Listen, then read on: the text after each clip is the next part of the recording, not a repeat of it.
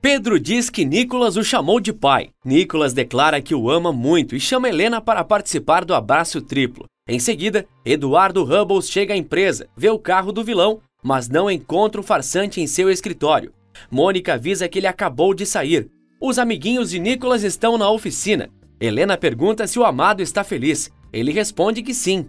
Horácio diz que nunca mais tinha visto o neto tão contente. Mônica liga e avisa que Eduardo esteve na empresa para prender Miguel Fernandes. Entretanto, o vilão já tinha saído. Helena não acredita que o mau caráter conseguiu fugir. Enquanto isso, Irene pega Miguel na empresa. Ela diz ao pilantra: A única coisa que quero, Ernesto, é estar com você. Não me importa quem você é ou o que fez, eu te amo. Te amei minha vida toda, não quero viver longe de você. Ernesto pede que ela se concentre e dirija. Fique agora com o resumo do próximo capítulo da novela Te Dou a Vida. Mas antes, clique no botão de gostei para receber atualizações de vídeos novos. Não esqueça de se inscrever no canal e ativar o sininho. Segunda-feira, 24 de janeiro.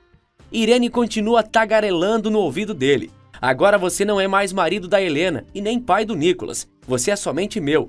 Não me importa qual é o seu verdadeiro nome, Miguel, Francisco ou o que seja. Miguel pede que ela apenas dirija. Anoitece. Helena está insatisfeita por Miguel ter fugido. Como ele ficou sabendo?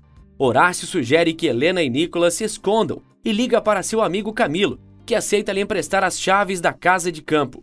Pedro pede que Helena não explique nada para Nicolas sobre o ocorrido com Ernesto. No dia seguinte, na delegacia, Horácio diz a Eduardo que Helena e Nicolas irão para a casa de um amigo da família. Eduardo diz que está tentando entender como Miguel ficou sabendo que seria preso e fugiu. Helena diz que Irene foi morar com o vilão, pois saiu de casa e provavelmente o alertou. Enquanto isso, no hotel, Irene dá um telefone descartável para Miguel, que avisa Irene que sairão do país. Irene pergunta a Miguel se o dinheiro que ele desviou está nas Ilhas Caimã.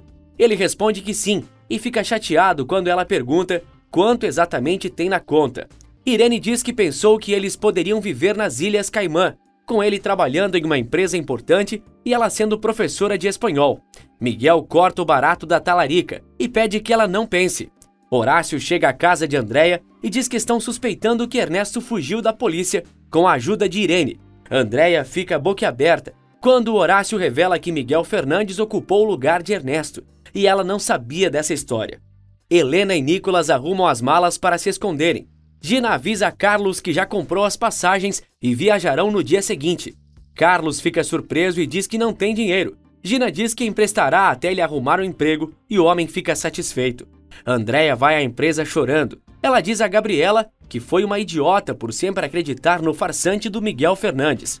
Gabriela consola dizendo que Irene decidiu seu próprio destino quando resolveu ajudar Miguel a fugir, por estar cega de paixão. Gabriela precisa sair e pede a Andréia que receba um cliente ali na empresa. Inês avisa Eduardo que no dia seguinte voltará ao convento. Eduardo diz que ela está confusa. Inês argumenta que sua vocação é se entregar para Deus. Não quero sentir coisas que não quero sentir. Prefiro me dedicar a Deus. Nisso, ligam para Eduardo e avisam que flagraram algo nas câmeras de segurança da casa de Helena. Eduardo sai e diz a Inês que depois conversarão. Inês fica ali sozinha chorando. Rodolfo Abreu deixa com Horácio a petição da anulação do casamento de Helena e a invalidação da adoção de Nicolas por parte de Ernesto. Horácio pergunta o que acontecerá com a sociedade dele com o impostor. Abreu avisa que está preparando um documento para solicitar a anulação da sociedade. Hubble chega carregando o um notebook e mostra o vídeo da câmera de segurança em que Irene está na frente da casa de Helena. Hubbles diz sentir muito, mas abrirão um processo contra Irene por ser cúmplice do pilantra. Enquanto isso, Irene dirige com Miguel no banco do carona. Eles avistam uma blitz policial. Miguel se esconde no porta-malas. O oficial não revista o carro e deixa Irene passar. Helena, Pedro e Nicolas estão na casa de campo de Camilo. Pedro diz que precisa retornar à cidade. Nicolas pede que ele não vá, Samuel vê Gustavo com uma loiraça na rua e, por acreditar que Gabriela está namorando com ele, grita: Gabriela não merece isso. Você está com as duas ao mesmo tempo. A loira dá um tapa na cara de Gustavo e manda ele sumir da vida dela. Furioso por ter perdido a namorada, Gustavo dá um soco em Samuel. Dois policiais chegam e separam a briga. Gabriela vê que Andréia trabalha muito bem no computador e sugere que ela fique ali na empresa. Andréia fica satisfeita com o pedido da filha e responde que aceita o trabalho. Nisso, Gustavo liga para Gabriela e ela sai rapidamente. À noite, em um hotel, Miguel continua tratando Irene mal e pede que ela fique quieta, pois ele precisa pensar. Gabriela chega à casa de Samuel e diz que ele não precisava defendê-la. Entre o Gustavo e eu não existe nada.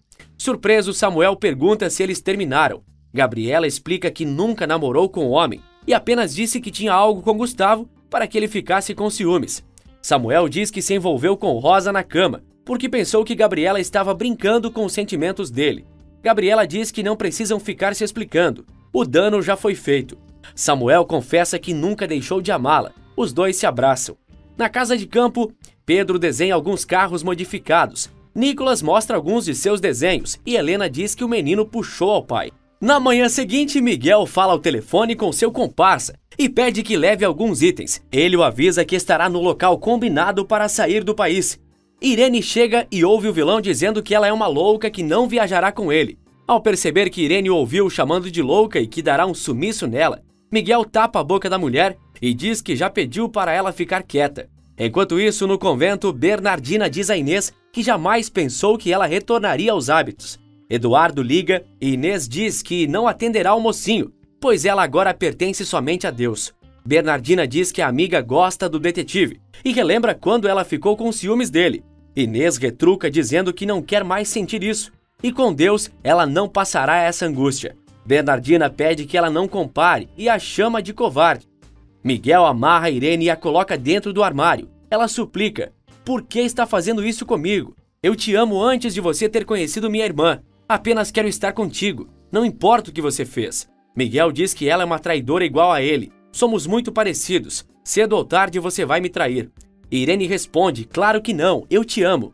Miguel não dá bola para a maluca, a amordaça e fecha a porta do armário. Ela chora muito e o vilão vai embora. Muito obrigado por ter acompanhado o vídeo até aqui. Até a próxima, pessoal!